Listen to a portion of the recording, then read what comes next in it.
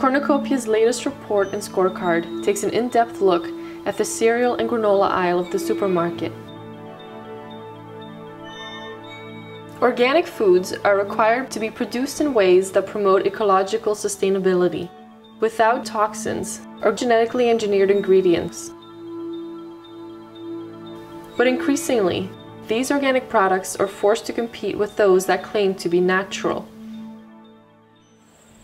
According to consumer polls, a majority of consumers believe that the term natural means the food is free from pesticide residues and genetically engineered ingredients.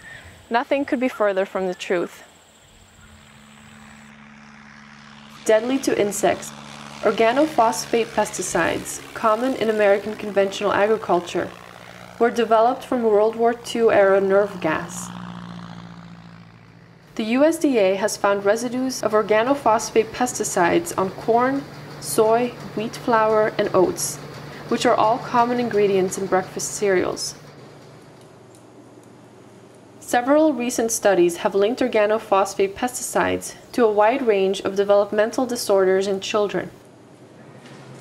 Those pesticides are prohibited in organics, but commonly used to produce conventional ingredients for natural products. The term natural often constitutes nothing more than meaningless marketing hype, promoted by corporate interests seeking to cash in on the consumer's desire for foods that are produced in genuinely sustainable ways.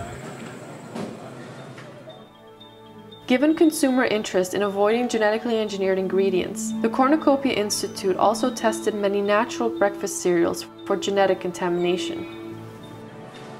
Cereals by leading natural brands including Kashi and Mother's, owned by the multinationals Kellogg and PepsiCo, contained high levels of genetically engineered ingredients.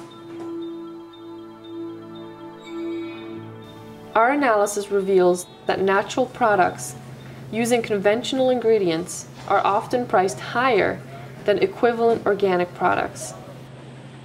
Organic farmers have received lower prices for their grains as cereal companies drop their demand for organic ingredients when they switch over from organic to natural labeling. Peace cereal used to be organic.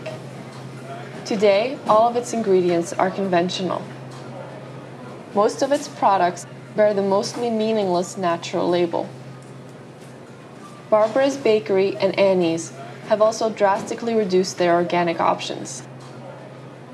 In the breakfast cereal aisle, only one in five of Annie's products contains any certified organic ingredients. Always look for the organic label and for the USDA organic seal. Buying natural foods does little, if anything, to avoid synthetic inputs and toxins used on the farms and inside the manufacturing plants.